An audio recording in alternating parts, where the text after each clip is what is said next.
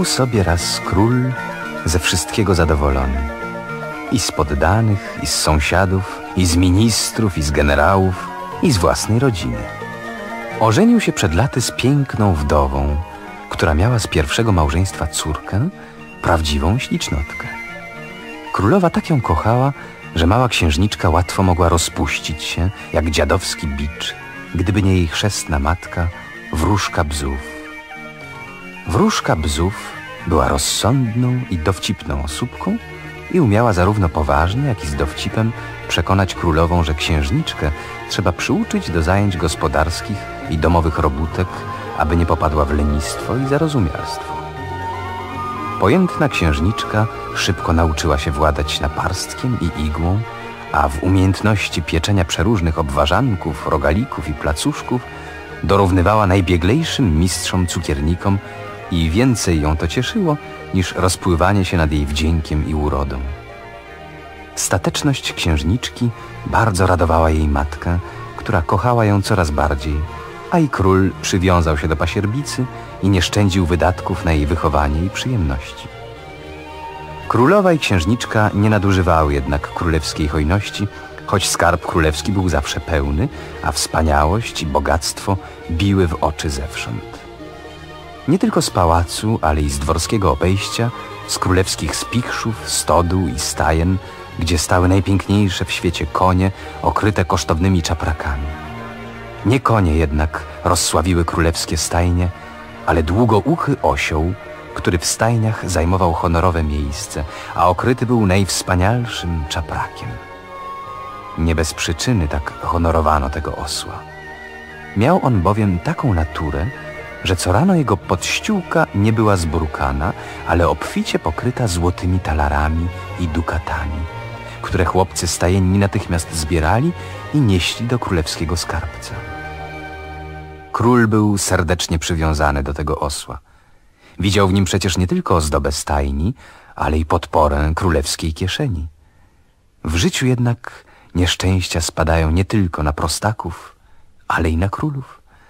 Nieszczęście spadło i na zadowolonego ze wszystkiego króla.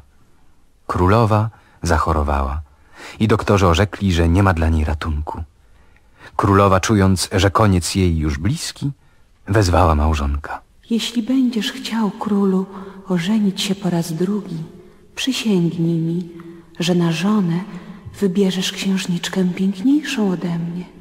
Król, który miał nadzwyczaj tkliwe i skłonne do miłości usposobienie, ręczył, że nigdy się po raz drugi nie ożeni i nie wahał się złożyć przysięgi, jakiej żądała od niego królowa, zapewniając, że piękniejszej od niej nie ma na całym świecie. Królowa, której do ostatniej chwili zależało na tym zdaniu, umarła spokojnie, a król wpadł w okrutną rozpacz. Rozpaczał dobrych parę lat, ale z biegiem czasu żal jego się ukoił. Wówczas ministrowie zaczęli go przekonywać, że trzeba, aby się ożenił po raz drugi i doczekał następcy tronu. Król wziął słowa ministrów pod rozwagę i zaczął się rozglądać po księżniczkach do wzięcia. Co dzień też ministrowie dostarczali mu wizerunki pięknych pań, ale żadna nie przypadła królowi do serca, żadna nie dorównywała wdziękiem zmarłej królowej. Tymczasem pasierbica królewska z roku na rok stawała się piękniejsza i, co chyba ważniejsze, coraz bardziej roztropna, zacna i rozumna. Chrzestna matka, wróżka bzów, roztaczała nad nią serdeczną opiekę, nie szczędząc dobrych rad i ciesząc ją od czasu do czasu jakimś podarunkiem. Chcąc, by używała przejażdżek po okolicy, ofiarowała jej najlżejszy w świecie powozik zaprzęgnięty w baranka. Baranek ten był tak rączy, że umiał pomykać nawet nad ziemią, jak obłoczki, z którymi podobno był spokrewniony. Księżniczka powoziła nim z wielkim wdziękiem, nawołując miłym głosikiem. Baś, baranku uroczy, lekki niby obłoczek, to lekkim truchcikiem, to z wełnistą chmureczką, nieba łąką niebieską, fruniesz z górnym wietrzykiem.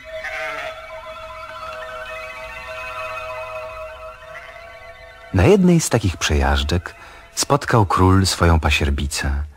Znieruchomiał rażony jej wdziękiem, serce zabiło mu mocno, a miłość uderzyła do głowy.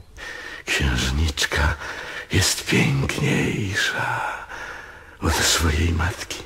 Poślubię ją i w ten sposób dotrzymam przysięgi danej królowej. I tego jeszcze wieczoru oświadczył się o jej rękę. I mój ojczym, i stary, a taki nieroztropny. Król wpadł w gniew i zagroził księżniczce, że może ją przymusić do małżeństwa. Zatroskana księżniczka udała się do swoich pokojów i rozmyślała, co począć. Gdy noc zapadła, zaprzęgła do swego powozika baranka i wymknęła się cichaczem z pałacu do swojej chrzestnej matki. Księżyc już świecił, lekkie obłoczki przepływały po niebie, a baranek to biegł ścieżką, to odbijał się od ziemi kopytkami i pomykał wśród obłoczków, to znów spływał na ziemię i tupotał po smugach blasku. O, słyszę tu pod baranka. Czyżby to zbliżał się powozik mojej chrześniaczki? Tak, chrzestna matko, to ja. Przyjechałam do ciebie i to z niemałym kłopotem. Jaki masz kłopot, księżniczko? Mojemu ojczymowi nagła miłość uderzyła do głowy nie zważając na różnicę wieku, na niestosowność takiego małżeństwa, pragnie mnie poślubić. Co za głupia zachcianka. Mało to innych odpowiednich wiekiem księżniczek? Trzeba mu ten pomysł wybić z głowy. Ale jak? Wielki to wprawdzie kłopot z uporem władców. Jednak musimy się z nim rozprawić. Niełatwa będzie rozprawa z królem. Hmm, nie wyzwiemy go przecież na szpady, ale na kaprysy. Straszna to broń, moja miła. Ale ja nie jestem kapryśna. Wiem o tym, dlatego też jesteś do tej walki dobrze opancerzona. Przede wszystkim więc musisz poddać króla tak kapryśnym próbom, żeby mu się odechciało małżeństwa z tobą. Powiesz mu, że zastanowisz się jeszcze nad odpowiedzią na jego oświadczyny, jeśli ofiaruje ci suknię barwy pogody. Suknie barwy pogody? A jaka to suknia? Piękna, ale bardzo trudno uszyć taką suknię i wątpię, czy król znajdzie krawca, który by podjął się tej pracy. Księżniczka podziękowała chrzestnej matce za radę, siadła do powozika i niezauważona przez nikogo wróciła do pałacu.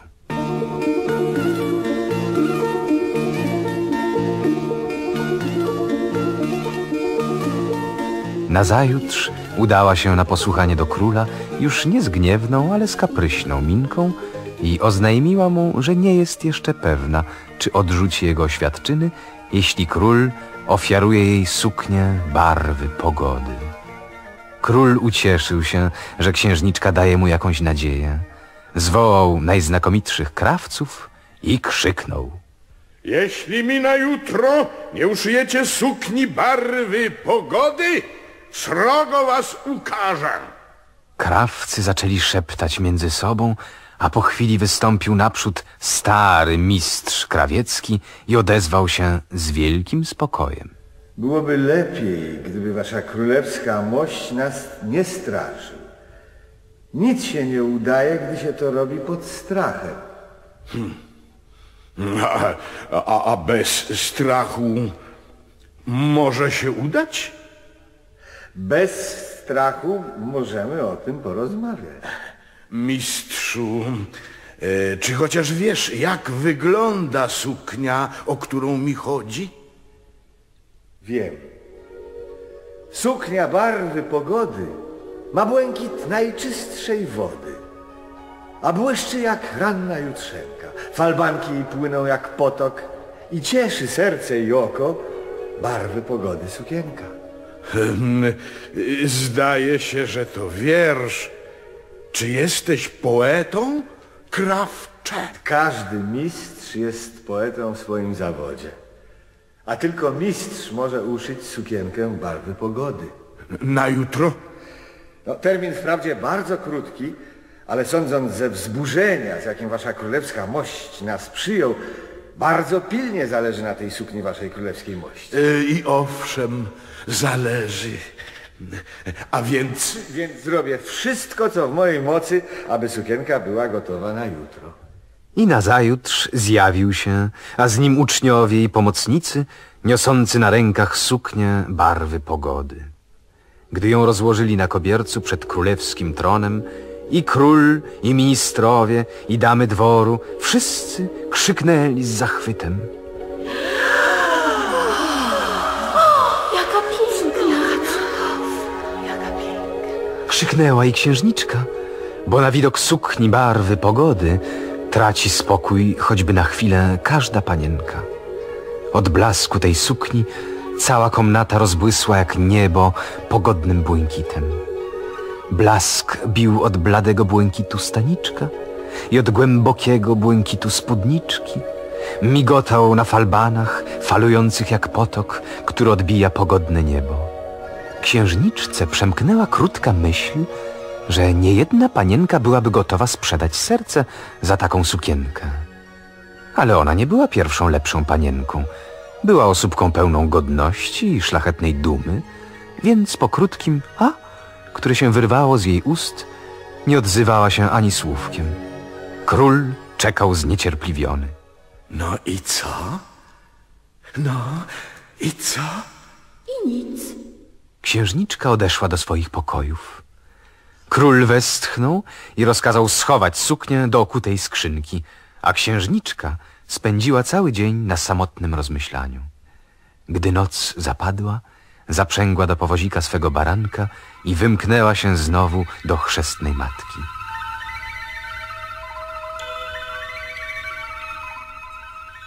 Chrzestna matko, król ofiarował mi suknię barwy pogody. Ach, co to za suknia? I co ty na to, moja droga?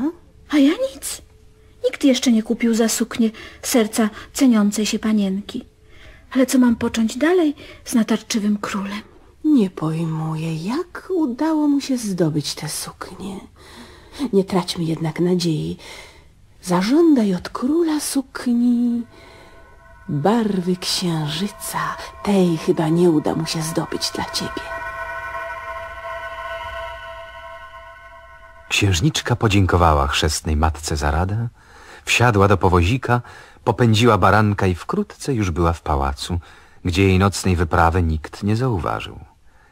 Nazajutrz udała się do króla i oznajmiła mu, że suknia barwy pogody jej nie zachwyciła i że chce mieć suknię barwy księżyca.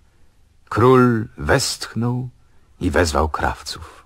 A gdy stanęli przed jego tronem, powiedział spokojnie i niegłośno.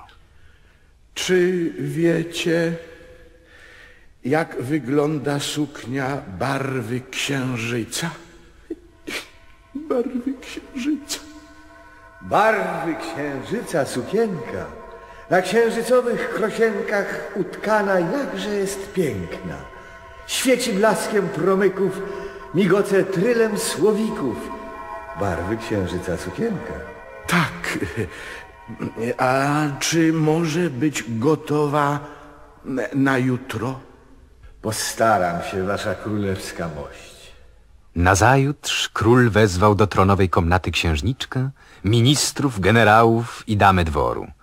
A kiedy weszli krawcy i rozłożyli na kobiercu przed tronem suknię barwy księżyca, wszyscy stali milcząc. Bo trudno opisać słowami piękność sukienki, która zdawała się drżeć, migotać jak księżycowy blask i wypełniła łagodnym światłem komnatę. Oczy księżniczki zabłysły i wyciągnęła ku sukni paluszek, chcąc jej dotknąć, bo wydawała się tak lekka i złudna, jakby rozwiać się miała z najlżejszym wietrzykiem. Nie dotknęła jej jednak, podniosła głowę i powiedziała. Nie jestem pewna, czy przyjęłabym królewskie oświadczyny nawet w tej sukni. Król westchnął ciężko, wyprawił krawców, suknię kazał zamknąć do skrzyni i udał się na posiedzenie z ministrami i generałami. A księżniczka zamknęła się w swoich pokojach i nikt już jej nie widział tego dnia. Nikt też nie widział, jak nocą wymknęła się znowu poradę do chrzestnej matki.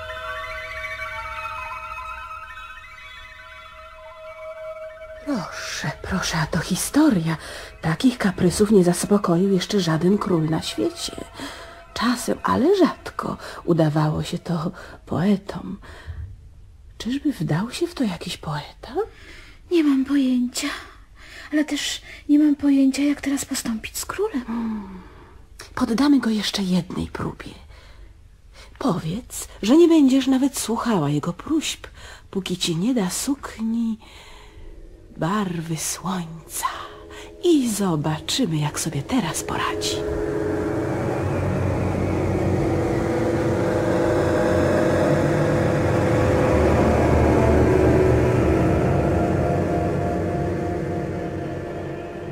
Król, usłyszawszy nowe żądanie księżniczki, westchnął i oczywiście wezwał krawieckiego mistrza. Mistrzu, czy wiesz, jak wygląda suknia barwy słońca? Tak, wiem, wasza królewska mość. Sukienka barwy słońca, jak berło, korona jarząca. Rycerz i król przed nią klęka. W tańcu wir złoty się zmienia i w złote porywa marzenia ta barwy słońca sukienka. Czy może być gotowa na jutro? Niestety, wasza królewska mość, to niemożliwe. Ja nie mogę uszyć tej sukienki, A to dlaczego? bo jestem na to za ubogi. Tu do przybrania potrzeba królewskich klejnotów. Będziesz je miał.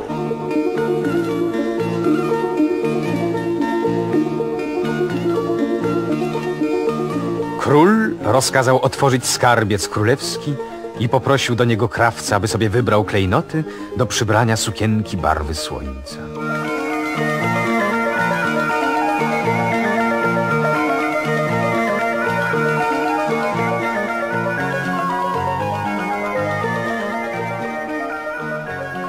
Nazajutrz dwór był wielce poruszony, bo wieści i plotki o kaprysach księżniczki rozeszły się po całym pałacu, od kuchni aż do salonów. Gdy więc na wezwanie króla wszyscy zebrali się w tronowej sali, poszeptywali sobie do ucha to i owo i podśmiewali się niegłośno. Ale szepty i śmieszki umilkły, gdy drzwi się otworzyły, wszedł krawiec, niosąc suknię barwy słońca i rozłożył ją przed tronem. Od migotania przetykanej klejnotami tkaniny całą komnatę wypełniło złote mrzenie i wszyscy na chwilę zmrużyli oczy.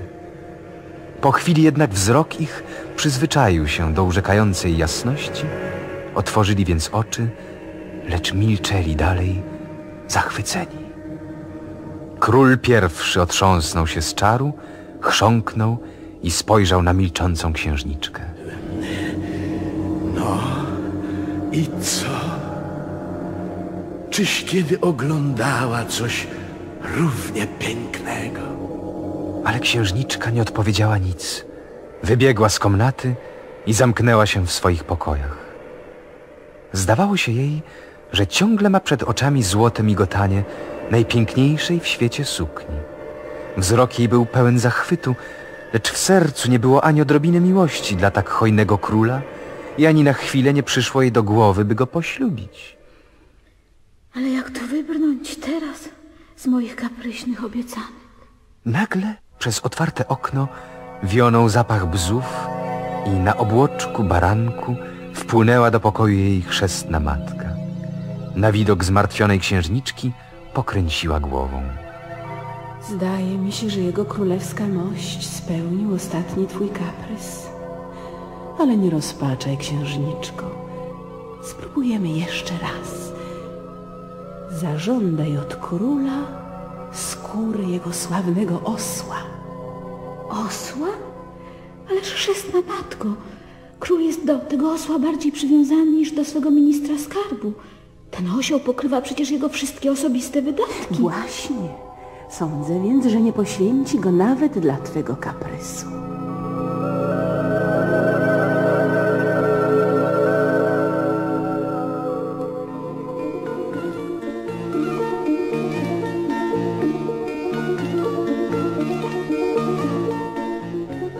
Nazajutrz księżniczka oznajmiła królowi swoje życzenie, a w dzień potem zjawił się w jej pokojach królewski stajenny z oślą skórką.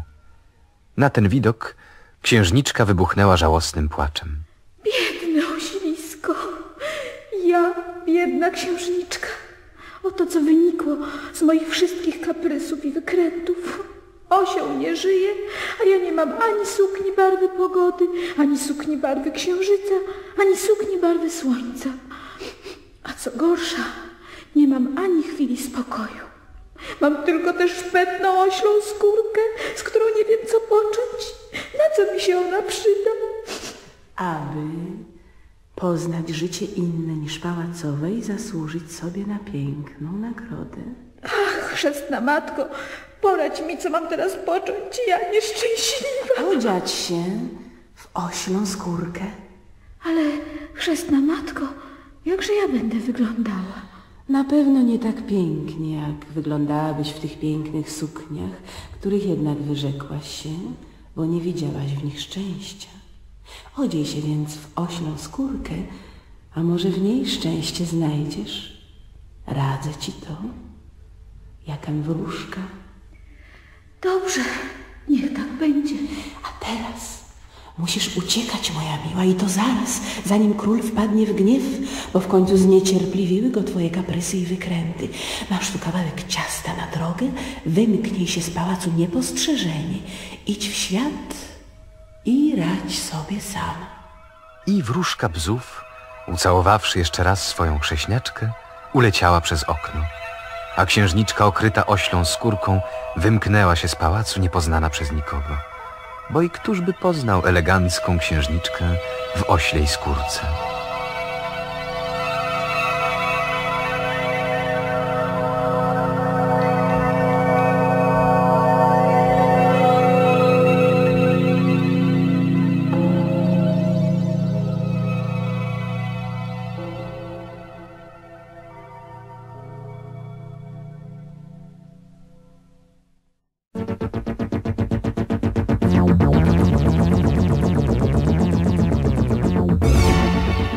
Trudno opisać popłoch i zamieszanie, jakie wywołało zniknięcie księżniczki. Rozpaczliwe nawoływania rozlegały się ze wszystkich murów, okien i wież pałacu. Trębacze trąbili, dobosze walili w bębny na alarm, a wzburzony poeta zasiadł nad kartką papieru, umaczał pióro w atramencie i przy krzyku trąb i huku bębnów pisał ostro, aż tryskał atrament. Królewskich bębnów słychać krzyk, księżniczki nie zobaczy nikt. Wymknęła się z pałacu bram, więc huczą bębny tararam. Czy to ucieczka, żart czy gra? Pytają trąby tratata. Więc gdy się zdarzył popłoch, mąt, poeto, czerp natchnienie stąd. Popłoch i zamieszanie rosły z minuty na minutę. Król wyprawił w pogoń za księżniczką tysiąc muszkieterów, ale najlepsze poszukiwania na nic się nie zdały. Tymczasem okryta oślą skórką księżniczka oddalała się coraz bardziej od pałacu. Szła ścieżkami, miedzami i przyrowkami i nikt na nią nie zwracał uwagi. Niepostrzeżenie minęła warty graniczne i wędrowała dalej przez sąsiednie królestwo. Kurz dróg osiadł na jej białej twarzyczce, opylił puszyste włosy. Placuszek od chrzestnej matki skończył się i głód zaczął jej dokuczać. Znużona, osłabła, minęła piękne, duże miasto i doszła do przysiłka. Przez płot jakiegoś obejścia zobaczyła na podwórku gospodynię, szorującą koryto i zapytała, czy nie potrzebuje pomocy w gospodarstwie. A co ty umiesz?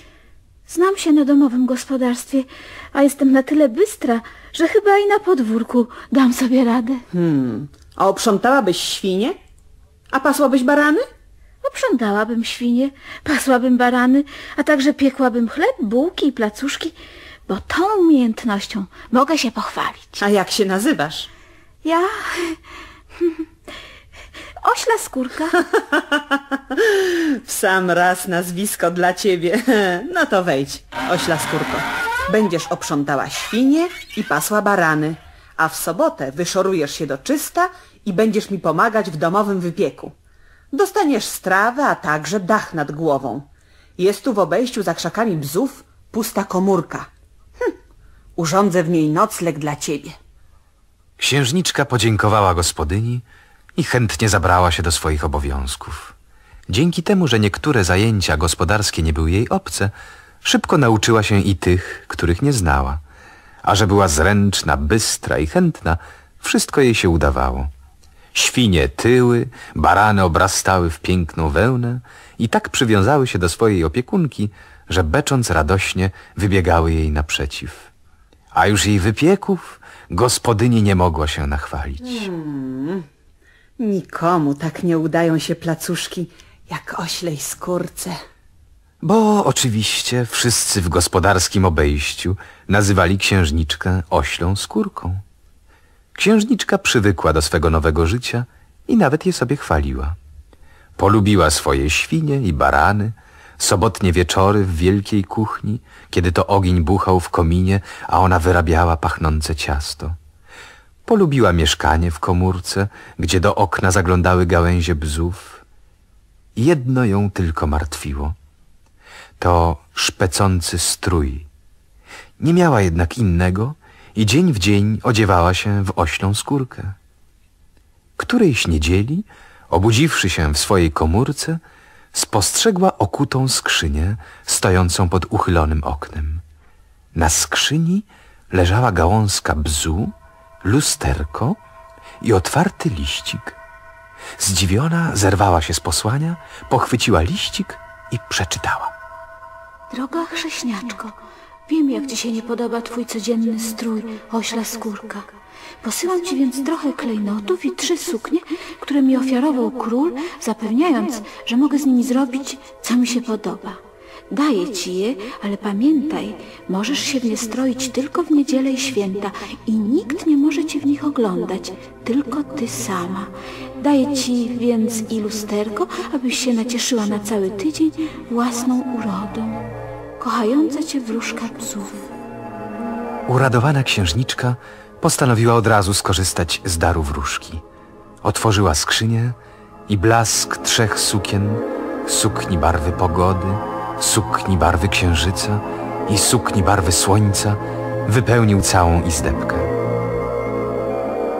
Księżniczka chwilę wpatrywała się w te krawieckie arcydzieła, po czym powiesiła na ścianie lusterko, przebrała się w suknię barwy pogody i niemało użyła radości, obracając się przed lusterkiem, tańcząc na paluszkach, przechadzając się po izdebce w pełnym blasku urody i elegancji.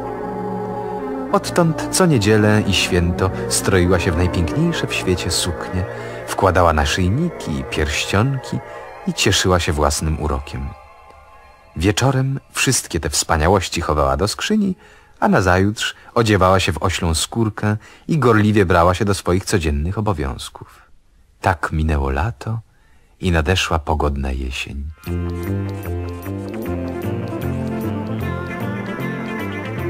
Którejś niedzieli przez przysiłek przejeżdżał młody syn królewski.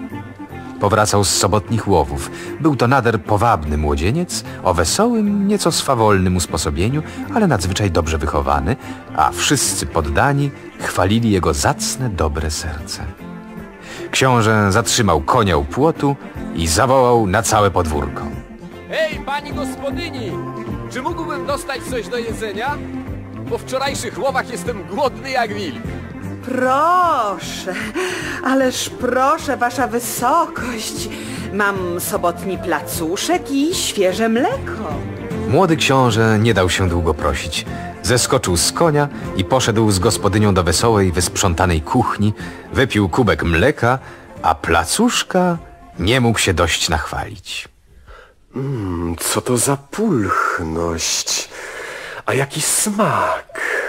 Nawet na królewskim dworze nic tak smacznego nie jadłem. Czy to pani piekła ten placuszek, pani gospodyni? Nie, wasza wysokość. e, Ten placuszek upiekła moja pomocnica, ośla skórka. Niechże pani łaskawie przywoła tę oślą skórkę, abym jej za ten przysmak podziękował. Gospodyni wprawdzie nie chwaliła się cudzą zasługą, ale także nie chciała się chwalić taką cudaczną pomocnicą jak ośla skórka. Odpowiedziała więc księciu nieco zająkliwie, że ośla skórka, korzystając z niedzieli, poszła w odwiedziny do kumy, ale gdy tylko wróci, gospodyni powtórzy jej pochwały księcia. Książę spojrzał bystro na jąkającą się gospodynię, pomyślał, że może nie wszystko jest zupełnie tak, jak powiada, ale nie zaprzątał sobie tym zbytnio głowy, podziękował bardzo uprzejmie za poczęstunek i wyszedł na gospodarskie obejście. Nie wiadomo dlaczego przyciągnęła jego oczy mała komórka w głębi za krzakami bzów. Może dlatego, że po jej ścianach przebiegały figlarne cienie listków i wesołemu księciu wydało się, że dają mu jakieś znaki. Pobiegł więc w tę stronę i stanął przed drzwiami komórki. Drzwi były zamknięte, ale wewnątrz nucił jakiś miły głosik. Książę przyłożył oko do szpary i znieruchomiał z zachwytu. W małej izdebce, przed wiszącym na bielonej ścianie lusterkiem, obracała się na paluszkach najpiękniejsza w świecie osóbka, a jej suknia barwy pogody rozsiewała dokoła błękitny blask. Serce księcia zabiło z nagłej miłości i zachwytu. To musi być księżniczka. I to księżniczka mego serca. Pokochałem ją od pierwszego wejrzenia. I w zapale chciał wyważyć drzwi. W porę jednak przypomniał sobie o swoim dobrym wychowaniu, więc tylko westchnął. Na to westchnienie wzrok czarującej osóbki zatrzymał się w szparze w drzwiach i przez krótką chwilę w oku księcia odbiło się zdumione, czarujące spojrzenie. Po czym coś przysłoniło szparę. Wtedy książę odsunął się od drzwi, zawrócił na podwórze, pobiegł do gospodyni i zapytał, kto to mieszka w komórce za krzakami bzów. E, Kto tam mieszka? Mm, Te, e, o, ośla skórka, e, moja pomocnica. Poczciwa i zgrabna do roboty dziewczyna, ale wielkie z niej brzydactwo. Książę wysłuchał tych wyjaśnień, pokręcił głową, bo wszystko wydawało mu się coraz bardziej niejasne. Ale że wieczór już zapadł, musiał wracać do pałacu, bo królowa, jego matka, nie uznawała żadnych spóźnień. Przy kolacji młody książę wydawał się całkiem nieprzytomny. Nic dziwnego od widoku uroczej panienki, obracającej się przed lustrem w sukni barwy pogody, niejednemu mogło zakręcić się w głowie. Książę z największym wysiłkiem brał udział w ogólnej rozmowie, przymykał oczy. Sukienka barwy pogody migotała mu pod powiekami. Nie wiedział już, czy siedzi przy królewskiej kolacji, czy stoi przed drzwiami komórki za krzakami bzów i bladł coraz bardziej. Wreszcie zsunął się z krzesła i zemdlał. Król i królowa przerażeni rzucili się do jedynaka, podnieśli go, ułożyli na łóżku i wezwali najlepszych doktorów, którzy orzekli, że młody książę ciężko zachorował z miłości. W kimże zakochał się tak nagle? Doktorzy nie wiedzieli. Wygłosili zdanie, że tylko małżeństwo z ukochaną może ocalić księcia. Obiecali leczyć go na wszystkie znane im sposoby, ale nie ręczyli za jego życie. Przede wszystkim zaaplikowali mu silną miksturę na poty, a gdy gorączka spadła i młody książę spojrzał przytomnie, królowa zapytała. Synu kochany, powiedz, czego pragniesz, a bądź pewien, że i król, i ja uczynimy zadość twoim pragnieniom. Moja królewska mości mamo, chcę, żeby ośla skórka upiekła mi placuszek. Wypowiedziawszy to jedno zdanie, osłabiony wysiłkiem zapadł w sen, a królowa zaczęła wypytywać wszystkich, kto to taki ta ośla skórka. Jeden z królewskich muszkieterów rzekł. Wasza królewska mość, w czasie wiosennych ćwiczebnych marszów przechodziliśmy przez przysiółek za miastem i tam na łące niejaka ośla skórka pasła barany. Rzadko można spotkać podobnego cudaka. Cudak, nie cudak, ale skoro mój syn tak zasmakował w placuszku jej roboty, niechże upiecze dla niego jeszcze jeden. Może chodzi tu tylko o kaprys chorego? A może jest w tym jeszcze inna, nieznana przyczyna? Na te słowa królowej muszkieter dosiadł konia i pogalopował na przysiłek z rozkazem, aby ośla skórka natychmiast upiekła placuszek dla księcia. Ośla skórka przyjęła z uśmiechem rozkaz królewski. Nie wiadomo, czy jej pochlebiało to żądanie, czy pomyślała o szparce w drzwiach, przez którą w niedzielę zajrzał do niej ktoś, kto bardzo wyglądał na księcia i bardzo jej się spodobał. Tak czy owak obiecała, że nazajutrz wczesnym rankiem placuszek będzie gotów.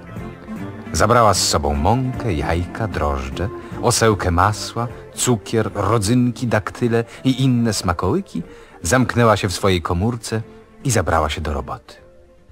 Ponieważ placuszek dla księcia należy piec z należytą ceremonią, księżniczka zrzuciła z siebie oślą skórkę, włożyła lśniącą sukienkę barwy księżyca, na palec wsunęła szmaragdowy pierścionek i zaczęła wyrabiać ciasto.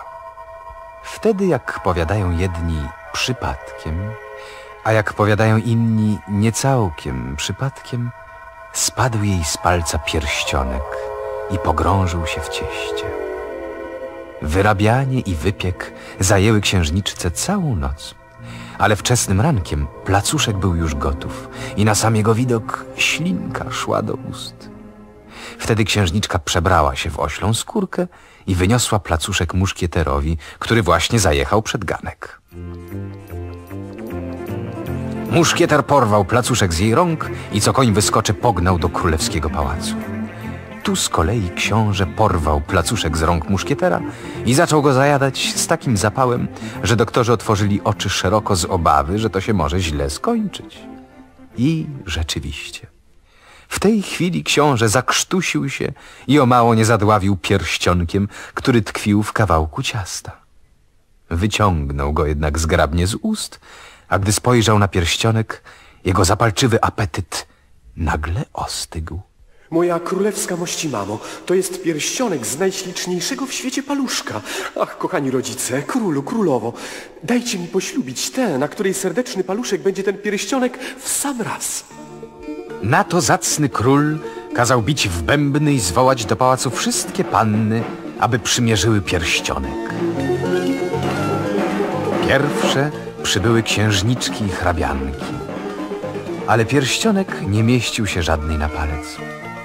Potem stanęły do przymiarek kuchareczki, modystki, ogrodniczki i pasterki. Książę ożywił się i zdrowie jego tak się poprawiło, że sam przymierzał im pierścionek, ale na nic się to nie zdało.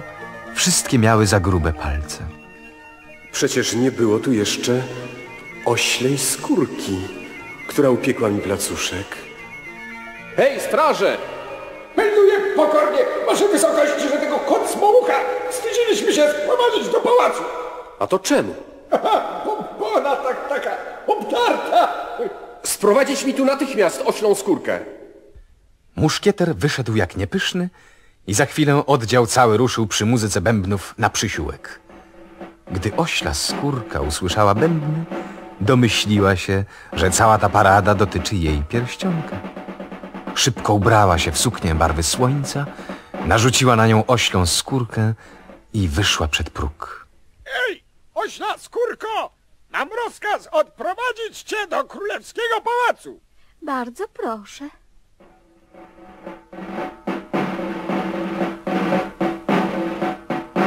Oczywiście książę nie poznał w oślej skórce pięknej osóbki, która go lśniła.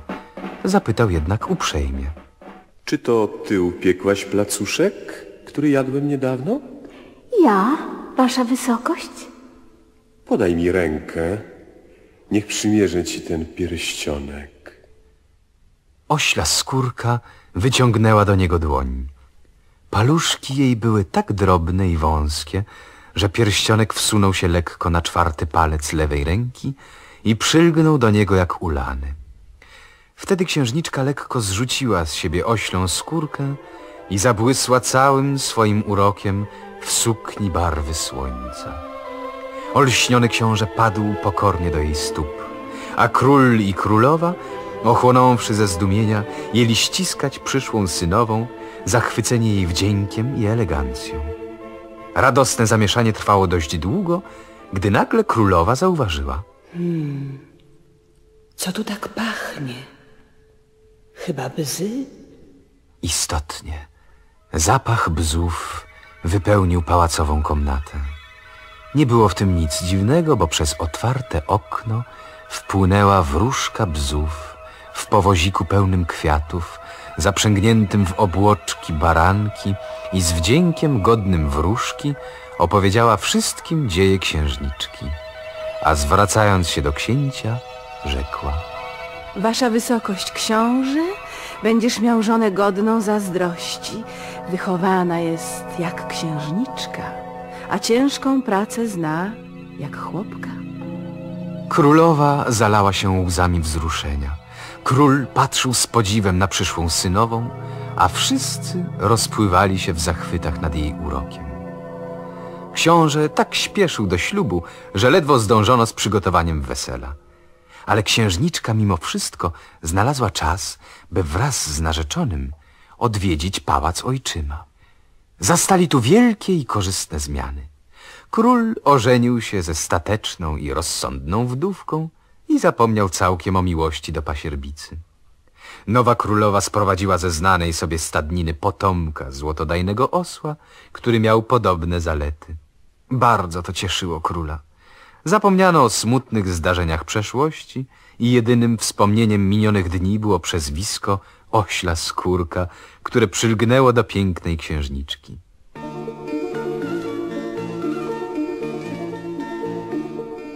Ośla skórka poślubiła zacnego i wesołego księcia, który był najszczęśliwszym z małżonków. Miał żonę dobrą, mądrą, elegancką, a tak gospodarną, że jej placuszki sławne były na cały świat. Na każdej uroczystości wszyscy się nimi zajadali, a nadworny poeta napisał o książęcym placuszku wiersz, który zachował się po dziś dzień. Każdy musi się wzruszyć, gdy wspomina placuszek, w którym ugrzązł pierścionek. W placuszku książę chory znalazł lek na amory i migdały cukrzone. Znalazł także sekrecik, najmilszy z wszystkich w świecie, o miłości bez chmurki. A poeta wraz z rymem wyskubuje rodzynek z placuszka oślej skóry.